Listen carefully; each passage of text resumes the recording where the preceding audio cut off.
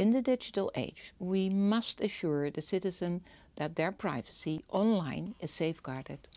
Without that level of trust in the online world, people will shy away from it and we won't achieve the digital transformation that promises so much.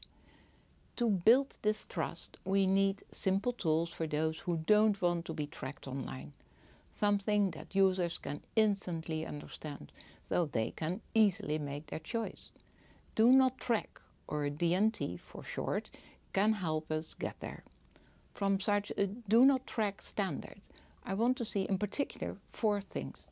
First, it must meet the three principles I set out in June transparency, fairness, and user control. Transparency, so users know exactly what the deal is. Fairness, so no one is forced into sharing their data.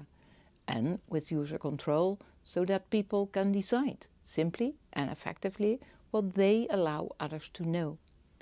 Second, it must be rich and relevant, rich enough to cope with our legal frameworks and the fast changing technology, and relevant enough to meet the needs of providers of digital goods and services, providers who must in turn rely on the standard to be legally compliant.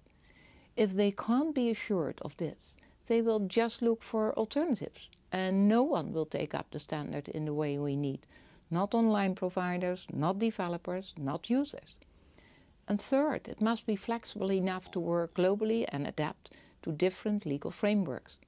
So in Europe, it cannot ignore our e-privacy rules, even though other rules may apply elsewhere. When providers receive do not track signals from their users, how they need to respond may be different depending on whether the user is in Europe, the US or wherever. So the system will need to adapt flexibly depending on the jurisdiction in question.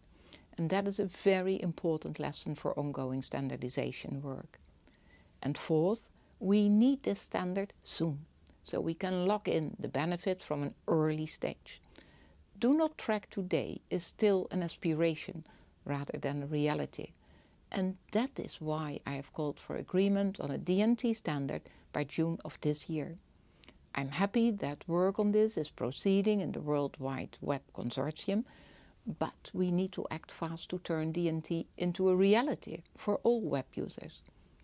There will always be other ways to comply with privacy laws too, but if we get it right, DNT can become the standard way to do so.